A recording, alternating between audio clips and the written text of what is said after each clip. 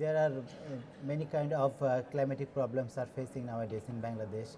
In the country, uh, in northwestern part is drought affected. In southern is coastal, that is salinity gradually increasing in that areas, and we also have recurrent flooding problem all, all over the countries. So people who are living in rural areas are now facing uh, different kind of climatic problems in around the years.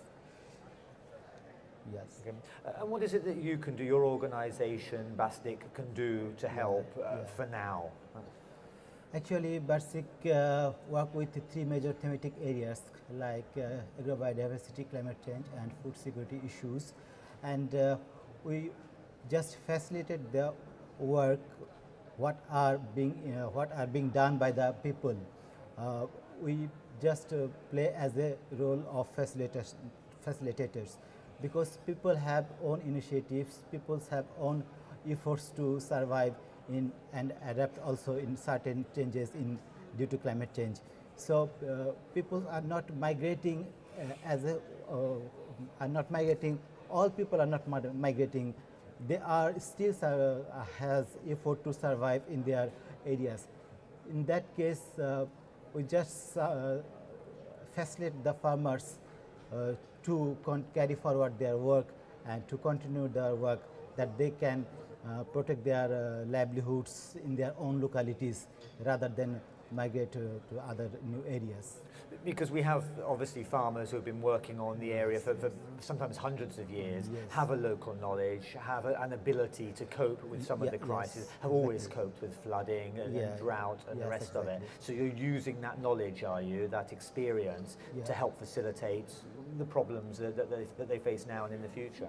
Yeah, um, just agriculture is a, is a, uh, is not new in Bangladesh. People are mostly dependent on agriculture, and uh, it's, it's amazing to say it's a small country, but um, farmers have the capacity to grow more to feed all people.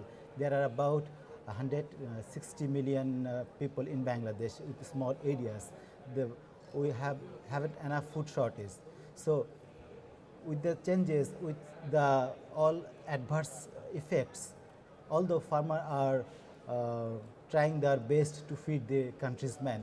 So we believe farmer has knowledge, farmers has capacity, but we need to facilitate, we need to uh, support to um, carry on their work. That's why Barcik uh, believe uh, the local knowledge. As a poor nations we don't have so technical uh, so, you know, technical facilities in, in around the countries. So local knowledge indigenous knowledge is the uh, one of the best way to cope with the cha- changing situations and, and cope with and to integrate with the development initiatives. What, what more could the international community do? What more, you know, could uh, conferences, processes like this one at COP18 do to help Bangladeshi farmers? Um, actually, uh, it might help, but the process of help, I mean, uh, the uh, climate fund, I mean, Fast Start Fund, is is is it's not uh, working at the moment, and how much would be go for adaptation and how much would be go for mitigations is not yet solved. So, in countries like Bangladesh, we need adaptation, adaptation purposes support.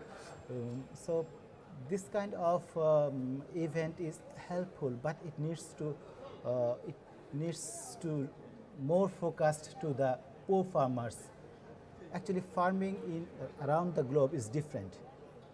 Agriculture in third world countries, I mean, least developed countries is different. That is subsistence agriculture that feed the country's people. But